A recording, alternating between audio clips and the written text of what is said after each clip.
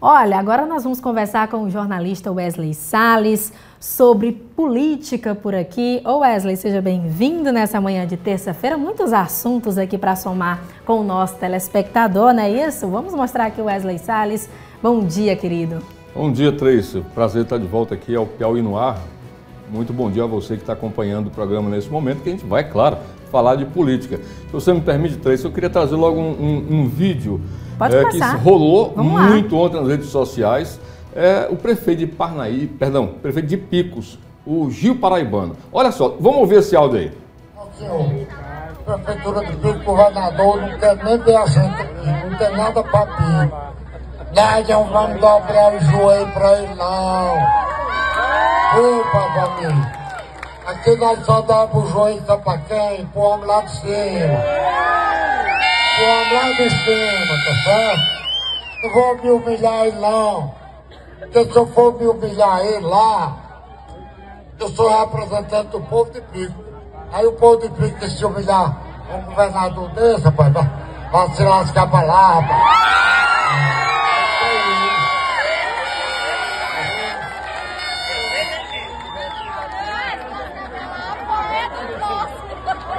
Vamos votar nos nossos vereadores. Vamos fazer a Câmara. Volta aqui pra gente, muita acidez aí nesse acidez. vídeo, Wesley. O que a gente percebe é que Gil Paraibano ele está incomodado com a presença do governador em Picos, mas principalmente com a aprovação do governador em Picos. Pela população. Pela população, pela própria população. Tanto que ele deixa muito claro que ele é o líder do município e que as pessoas ficam dando crédito lá para o governador. Literalmente o que ele disse foi isso, né? E aí mandou o governador se lascar para lá. O que é, o que mostra realmente o destempero, que mostra realmente que ali talvez uma preocupação com os rumos da eleição nesse momento. Porque o candidato lá está avançando.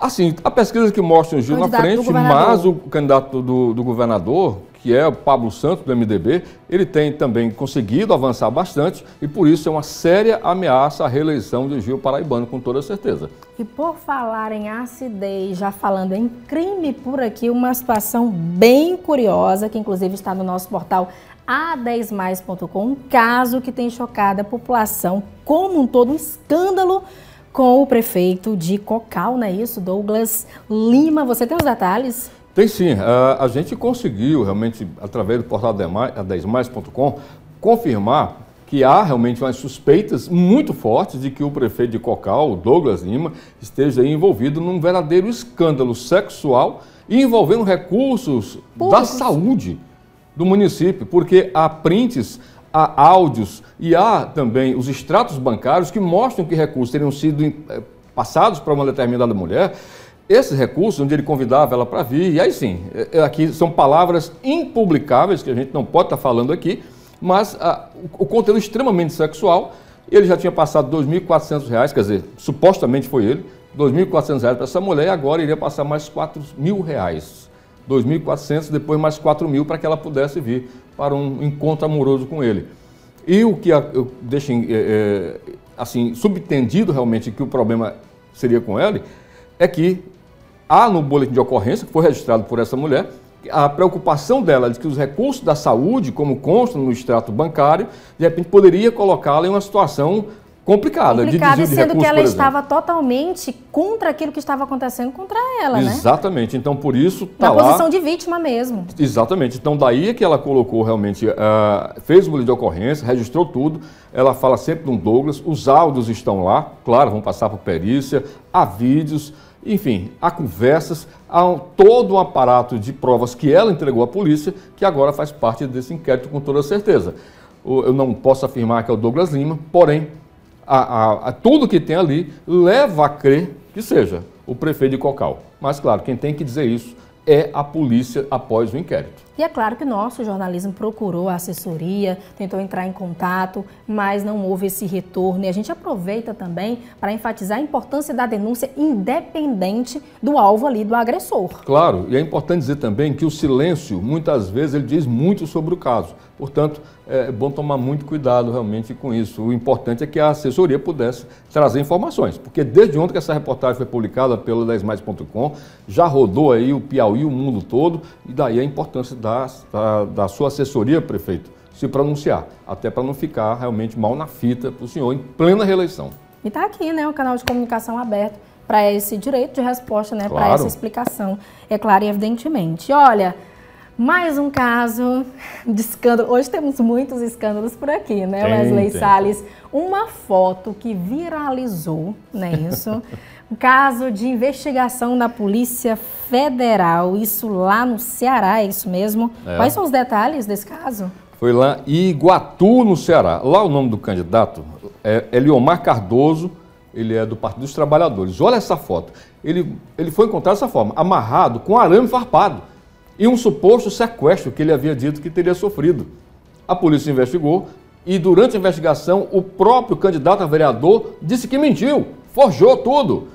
E agora vai ser aí investigado, vai ser, claro, vai ser imputado a ele essa, essa modalidade né, de, de, de, de comunicado falso de crime. Vai ter que responder por esse absurdo. Lembrando que esse tipo de coisa não é incomum. Aqui em Buriti dos Lopes, aqui no Piauí, você viu, essa semana passada, o candidato a prefeito lá também ele teria comunicado que sofreu um atentado a tiros, quando na verdade só foi o pneu de uma moto que estourou e ele ficou espalhando na cidade, em rede social, que teria sido um atentado contra ele. É realmente aquela tentativa de chamar a atenção. chamar né, pra atenção, si. se vitimizar.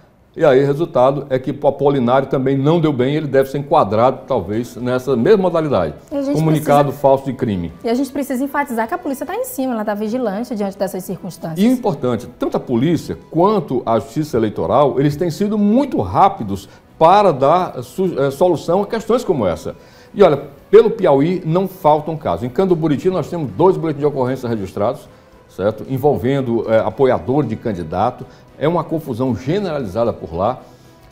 Estou falando só, de, só aqui do que eu estou lembrando, fora tantos outros que nós trouxemos ao longo das últimas semanas no- na bancada Piauí. É uma coisa absurda. E a gente precisa falar, né, tem um outro assunto importante, que é sobre a empresa X Brasil, né? Isso, essa situação é. Polêmica, é de âmbito nacional, a gente vai estar explorando aí ao longo dos próximos dias. Só um parêntese rapidinho, o STF já está contundente por unanimidade, né, a suspensão da X Brasil, as atividades da Starlink também aqui no nosso país.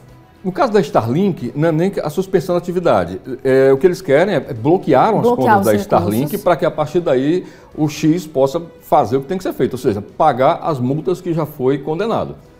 O fato é que a Starlink diz que não vai fazer isso. Se antes era uma decisão monocrática do ministro Alexandre Moraes, agora ela foi referendada pela primeira turma no Supremo Tribunal Federal. Portanto, tanto o bloqueio da do- de contas da Starlink quanto ah, o próprio X, o antigo Twitter, estão valendo de fato e de direito. Certo? Não, há, não há mais o que dizer que foi uma decisão monocrática. Não é mais. E aí é que está. Tem um print, eu não sei se a gente tem como colocar. É, esse print é, veio do, do gabinete do ministro, do ministro da Defesa, onde ele alega que simplesmente sem a Starlink fica quase impossível as Forças Armadas trabalharem em locais, por exemplo, como na Remotos, Amazônia, sim. em outros locais, porque realmente o sinal do satélite chega por lá, é muito bom e tal e tal. E aí é o absurdo. Como é que um país como o nosso, que tem a sua soberania, pode ficar refém de um equipamento que não é nosso?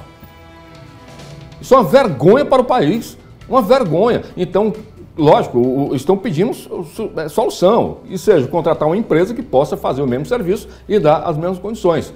Então, é importante que o país, e tem tecnologia para isso aqui no país também, que possa fazer a sua parte, para entregar para a defesa, para o cidadão, aquilo que a gente precisa de verdade.